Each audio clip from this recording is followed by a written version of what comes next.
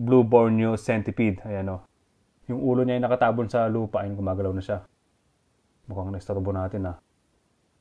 Huwag ka muna magtago ha. Hello! Lumabas lang siya para mag-hello guys. Pero sana wag siyang mag-borrow para makita natin kanyang takedown. Ayun o. Stick, di ba? Ang problema ngayon guys, eh, itong isang to, magtatago at magtatago to kapag itong kanyang enclosure ay inilabas ko. Kasi maramdaman yung vibration. So, ang pakiramdam sa kanya ng ganun eh, may prey sa paligid kaya magbabarrow na to. So, mahirapin tayong makita yung kanyang takedown. Pero habang ginagawa nito guys, eh, pagmamasdan na natin siya. So, dahan-dahan natin ilabas to guys para hindi siya maistorbo ng masyado. Yan. Dahan-dahan lang. Diyan ka lang ha. Diyan ka lang. Huwag ka munang papasok sa loob. Sagit lang at medyo masikip ata. Yan. Dahan-dahan ka lang. Dahan-dahan lang tayo guys. Dahan-dahan lang tayo. Yan guys. Medyo mabigat kapag one hand. Pero tiis-tiis lang. Yan. Baba natin ng dahan-dahan din. Yan. Nasa labas pa rin siya. Ulugod pa rin tayo, ulugod pa rin tayo. Nasa labas pa rin siya. Dahan-dahan lang. Lights muna tayo guys para hindi malobat agad-agad tong ating cellphone dahil naka, naka flashlight tayo. Tapos kakabit ko lang yung cellphone dito syempre. Para mag two hands tayo. Baka tayo ma mabash ng mga keyboard wires. Kailangan ng two hands ito guys kasi front opening na eh. Mahirapan na tayong kontrolin itong mga centipede kapag nagpumiglas at gustong ilabas ang ganda ng sarili mula sa enclosure. So pasensya na guys kung hindi nyo makikita yung magandang angle sa feeding niya kasi two hands na tayo. Eh kailangan eh kasi kasi baka makatakas kapag magawanan tayo eh, delikado front opening na eh yan ngipis Huwag, huwag kang lumayo. Lapit ka sa kanya. Lapit ka sa kanya. Yan, ayun na, ayun na, ayun na, ayun na. Ayun, ayun. Tinira na, tinira na. Hinabol na, hinabol na guys. Sundan natin. Ayun, nag-aabolan sila. Ayun, nahuli. Nahuli guys, nahuli. Pasensya na sa sa glare ng ilaw.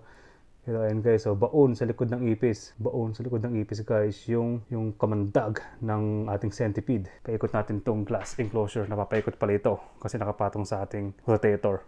rotator talaga yan, no? Yan, di ba? Stig. Sarap mag-relax. Grabe. Labas yung yung katas ng ipis. Stig guys.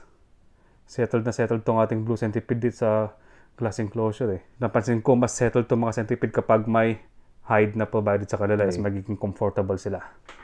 Pero ayan, pag masalang muna natin ng, oh nakatakas, sabulin mo. Nakatakas siya. Wala na. Ang ginagawa mo. Bitawan niya guys. Ano yung ipis oh. Pero mukhang, mukhang napuruan tong ipis. Nangihina na rin. Ayun oh.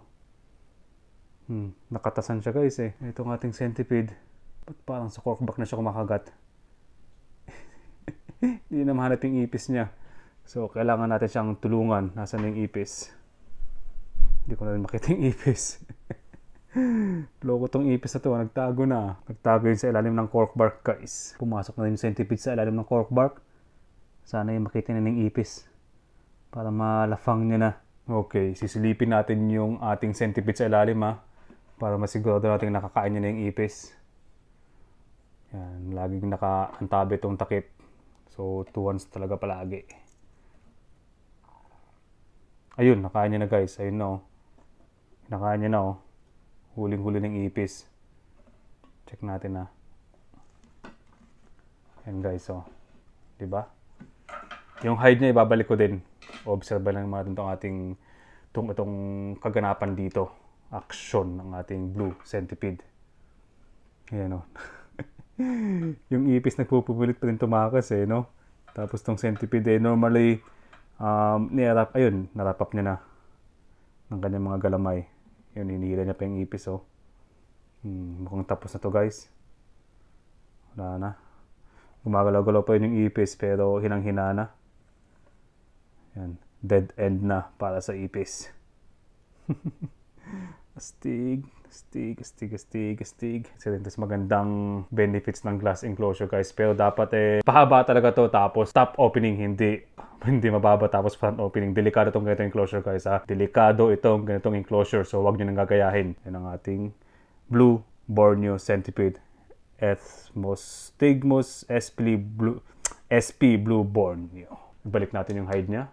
Tinaset up ko lang guys itong ating cellphone. Babalik na itong hide niya para makapag-chill na siya at kumain. Yan. Okay. Yan. Pakita si Blueborn yung centipede ng kanyang lafang action. Yan o. Kumakain siya o. Yun o, hinahalukay yung laman loob ng ipis. Hmm, pasintabi sa mga kumakain ngayon dyan. Marami sa atin eh, kumakain habang nanonood ng mga vlogs, nanonood ng YouTube, ng Facebook. Yan o, parang kumakain ng alimango eh, no? Hmm. Diba? Lafang, Blueborn yung centipede pala, ang dami ng kaganapan. Siguro eh next episode lang yung ibang centipede. Habang busy siyang kumakain eh mag-refill tayo ng kanyang tagay, ng kanyang water dish.